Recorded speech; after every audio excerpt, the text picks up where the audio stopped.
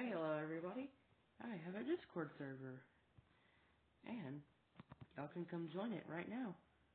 I will occasionally be making updates to the server. So don't be too surprised when you see it change a little bit in the future. But this is what it's currently looking like right now, alright? I'll post the link in the description of this video. However, there are some rules, okay? But yeah, have fun and follow the rules so you won't have to face me.